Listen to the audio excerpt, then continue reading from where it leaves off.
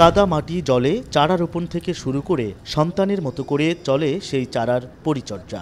দিগন্ত জুড়ে সবুজ সাম্রাজ্যের প্রতিটি পদক্ষেপে জড়িয়ে থাকে যাদের শ্রম আর ঘাম। মাঠ থেকে ফসল ঘরে তোলা পর্যন্ত পুরো প্রক্রিয়ায় যুক্ত এই মানুষদের পরিচয় কৃষি শ্রমিক।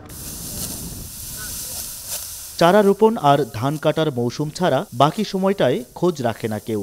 মৌসুমে সকাল সন্ধ্যা গায়ে গতরে খেটে হাজার টাকা পেলেও বাকি সময়টায় তিনশো থেকে পাঁচশো টাকাতেও কাজ মেলে না। তাই তো পেশা বদলাচ্ছেন অনেকে।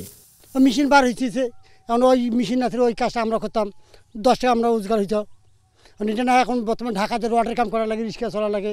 কৃষিকার্যের জন্য বা কৃষির জন্য এটা মজুরি দেওয়া হলো এটা তো নাই। সব কিছুর দাম বসে বৃদ্ধি আমার চলার মতো কোনো ক্ষমতা নেই।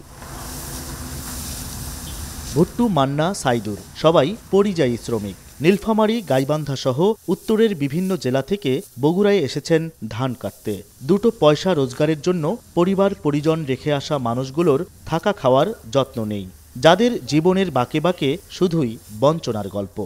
শরীরে ঘাটতি আইসি ওভাবে আর মনে করেন গাছ তোরা খিলায় না তো এখন আমার কষ্টর মধ্যে জীবনযাপন কাটা নাগে আমরা শ্রমিক তো যাই যেখানে কাজ করলে স্কুলে বারেন্দা অথবা গোল ঘরে অথবা আস্তার সাইডে দোকানে ওখানে থাকা লাগে আমাদের ওইভাবে মাইনে চলা লাগে।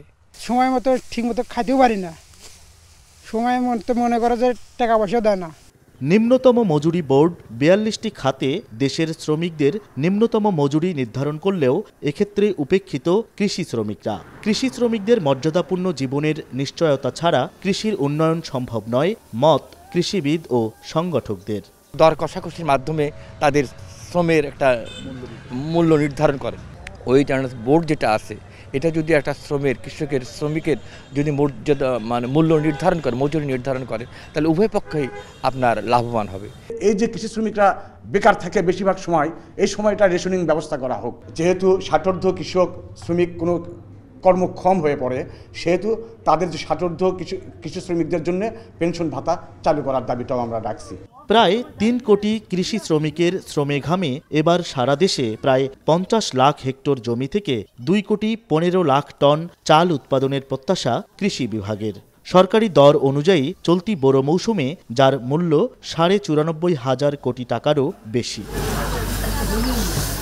চারা রোপণ থেকে ফসল ঘরে তোলা পর্যন্ত এই কৃষি শ্রমিকরা সংখ্যায় বেশি হলেও তাদের কোনো ট্রেড ইউনিয়ন নেই নেই কোনো জোট।